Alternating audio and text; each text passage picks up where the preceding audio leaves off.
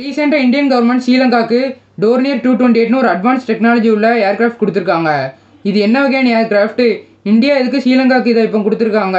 இதை பற்றி Sri Lankan prime minister Ranil Wickremesinghe என்ன சொல்லியிருக்காங்க?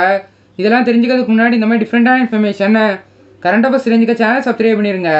ஏற்கனவே ரெண்டாயிரத்தி பதினெட்டுலேயே ஸ்ரீலங்கன் கவர்மெண்ட் நம்ம இந்தியா கிட்ட ரெண்டு Dornier two twenty eight aircraft கேட்டிருந்தாங்க. இப்போ நம்ம இந்தியன் கவர்மெண்ட் அதை தயாரித்து கொடுத்துருக்காங்க. இது முழுக்க முழுக்க நம்ம இந்தியாவோட தயாரிப்பு தான். இதை தயாரித்தது இந்தியாவில் இருக்க ஹிந்துஸ்தான் ஏரோநாட்டிக்ஸ் லிமிடெட் தான். இது அதிகமாக நேவியில் தான் பயன்படுத்துவாங்க. ஒரு நாட்டோட கடலிலேயே பாதுகாக்கிறதுக்கும் ஓவராலாக அந்த நாட்டோட கடல் பகுதியில் என்ன விஷயங்கள் நடக்குதுங்கிறத தெரிஞ்சு அதை கண்காணிக்கிறதுக்கு தான் இந்த ஏர்க்ராஃப்டை பயன்படுத்துவாங்க. இதை எப்படி ஆப்ரேட் பண்ணணும்னு ஸ்ரீலங்கன் ஆர்மிக்கு சொல்லிக் கொடுக்கறதுக்கு நம்ம இந்திய நேவிலேருந்து அஞ்சு தொழில்நுட்ப வல்லுநர்கள் பேருக்கதா சொல்லியிருக்காங்க.